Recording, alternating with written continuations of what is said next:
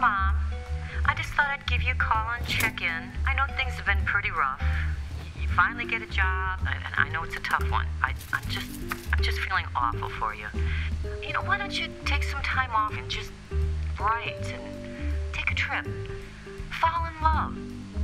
You know, we just want you happy, bud. That's all. So give us a call when you can, okay? All right, bye now. Okay, hey Henry, how's it going, pal? Uh, you left your hat at work today.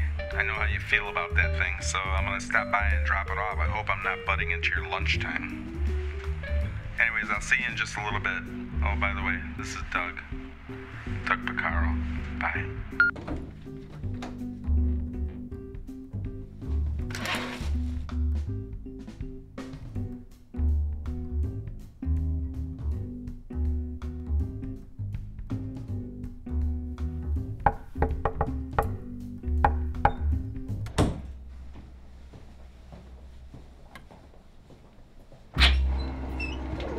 Henry Croft, is that really you? I'm such a fan.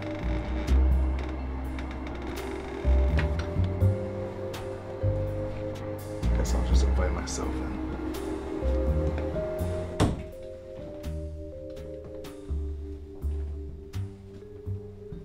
All right, who are you really? Doug. Doug Picaro.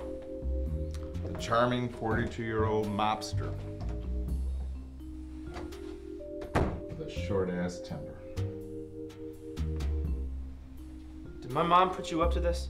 Henry, you're being ridiculous, babe. Nobody knows about me except for you, since you keep me locked in that closet for so long. What's this about? Listen, can you please put your cigarette out and tell me what the hell is going on right now? The girl with a flower up her sleeve. What's this about? Who is she? She's, uh. No. Who is she? Okay. I've become kind of a pacifist since 2000. And what, Henry? And what? You wrote somebody better than me? Is that what you're about to say, Henry? No, Doug, no. This isn't what it looks like. Doug? Doug, please. Please. You're acting completely out of character right now. Remember, you're my protagonist. With a short ass temper, Henry. With a very short temper. I'm sorry, Henry. I guess I was acting very rude. Doug, listen.